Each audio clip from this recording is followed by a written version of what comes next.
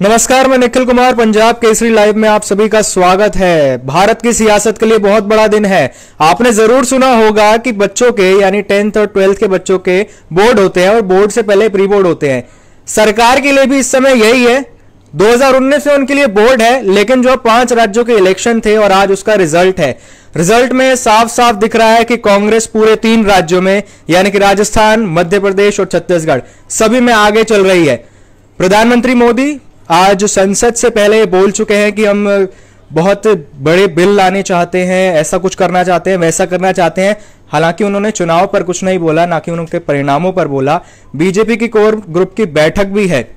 उसमें शायद ये देखेंगे कि अब तीन राज्यों में जो सत्ता हाथ से गई है, वो कैसे करेंगे। लेकिन अब जो मूल परिणाम जो हाथ में आया है, रुझानों से, रुझान क्योंकि बदलते नहीं है, लेकिन क्या पता क्या हो जाए। मूल रुझान यही है कि कांग्रेस तीनों राज्यों में सत्ता हासिल करने में कामयाब हो चुकी है। इस पर और ज़्यादा जानकारी के लिए कि क्या अपडेट्स है मेरे साथ मेरे सहयोगी है यश खुराना मैं उनसे बात करूँगा। जी यश क्या अपडेट्स हैं? जी अभी यही है कि मतलब तीनों राज्य मध्य प्रदेश छत्तीसगढ़ राजस्थान में कांग्रेस आगे चल रही है। बीजेपी को मात देकर। जी। जिसमें थे मैं यानी कि कुल मिलाकर बात कहे कि बहुमत का आंकड़ा कांग्रेस ने पार कर लिया है और बीजेपी का सुपड़ा साफ़ होता हुआ दिखाई दे रहा है। जी बिल्कुल। रुझान एग्जिट पोल भी यही कह रहे थे और शुरुआती रुझान भी कुछ ऐसे ही आए हैं। जी बिल्कुल। यूँ कह सकते हैं कि एग्जिट पोल बिल्कुल एग्जैक्ट पोल में तब्दील हो चुके हैं। ये बिल्कुल कह सकते हैं। बिल्कुल सटीक तौर जी लेकिन इससे पहले भी कई मंत्रियों ने बीजेपी के मंत्रियों ने कहा था कि एग्जैक्ट एग्जिट पोल नहीं हमें एग्जैक्ट पोल का इंतज़ार है। सुबह भी कई मंत्री कई रिबेट्स में गए मैंने सुबह अखबार भी पढ़ा। तो यही देख रहे थे कि वो यही कह रहे थे कि बिहार में एग्जिट पोल पलटे थे दिल्ली में एग्जिट पोल पलटे थे। तो अब ये रुझान है?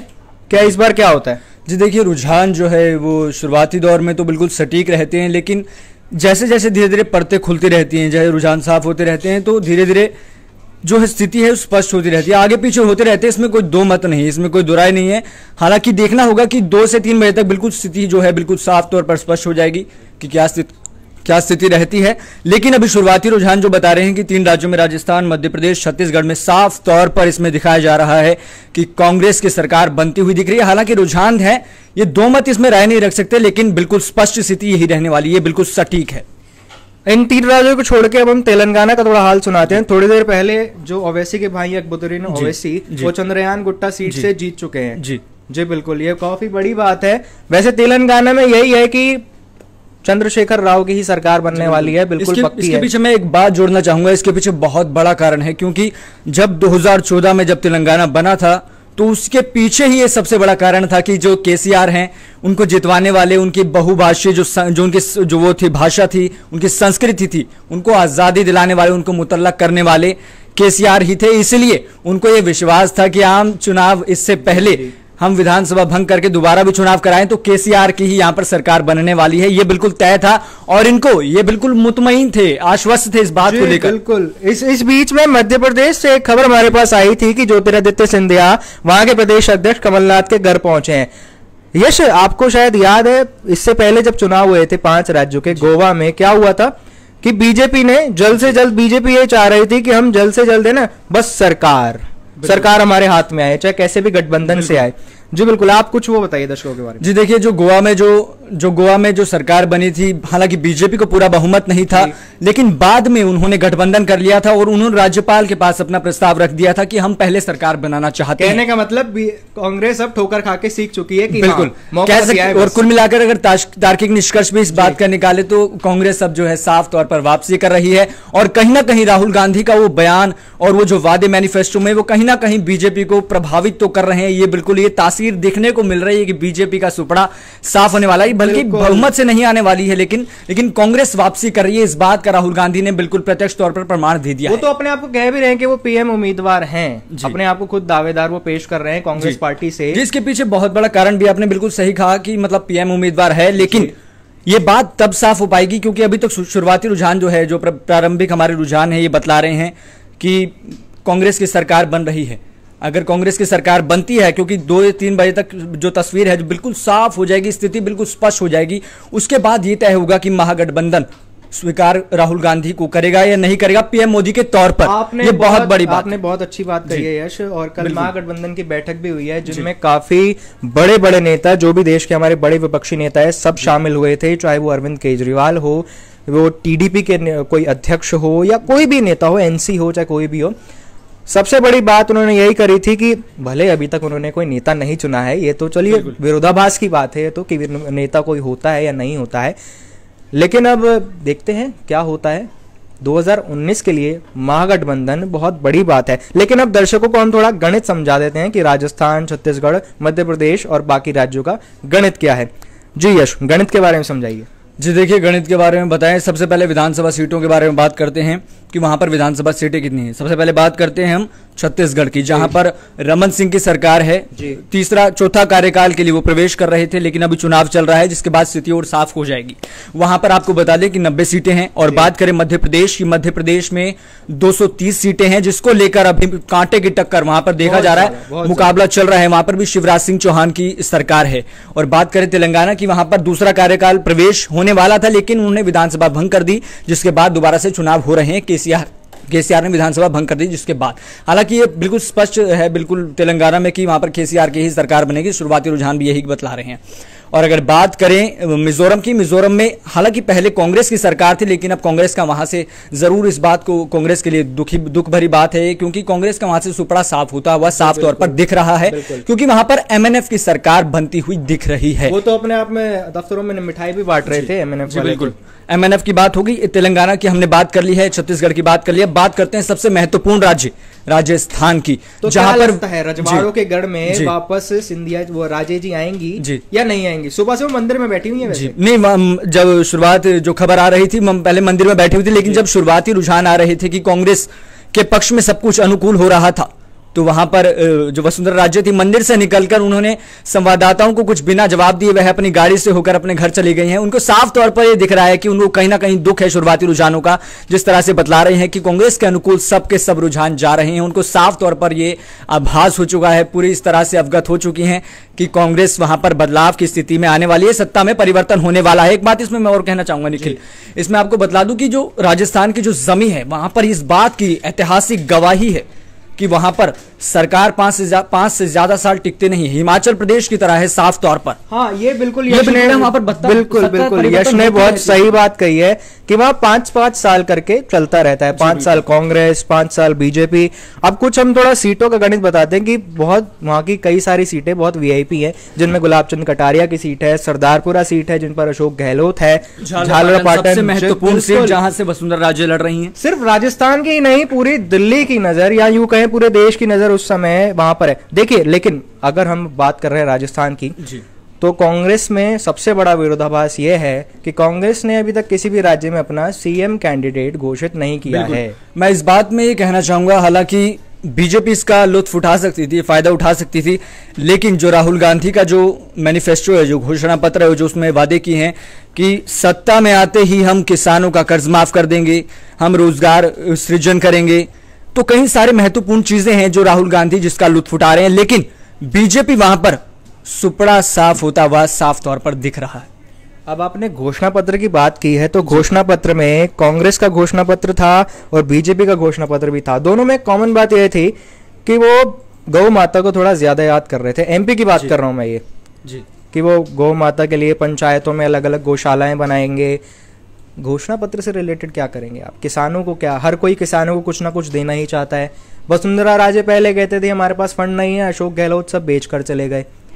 लेकिन अब वो कह रहे हैं कि हम पाँच हज़ार महीना देंगे तीन हज़ार महीना देंगे। बात इसमें कहना चाहता हूँ मध्य प्रदेश को लेकर आपने बात कही कि मतलब घोषणा पत्र को लेकर क्या प्रभाव रहता है वहाँ पर ये बातें रखी जा रही हैं वो बातें रखी जा रही हैं। लेकिन सबसे जो महत्वपूर्ण बात है इसमें मध्य प्रदेश को लेकर वहाँ पर जो शुरुआती जो रुझान आए थे और एग्जिट पोल के अनुसार, जो एग्जैक्ट पोल अभी तक बतला रहे हैं रुझानों के मुताबिक तो वहाँ पर यही देखा गया है कि शिवराज को तो लोग पसंद करते हैं, वो लोकप्रिय चेहरा है, वो उनके अंदर मकबूलियत है, वो साफ़ तौर पर दिख रहा है, लेकिन नाराज़ किससे हैं? वो विधायकों से। वहाँ पर जो साठ विधायक हैं, उनके विकास कार्यों से, उनकी नीति से, उनके अखलाक से वहाँ के जो मतदाता हैं, उनसे परेशान हैं, उनसे कुल्फत महसूस कर रहे हैं।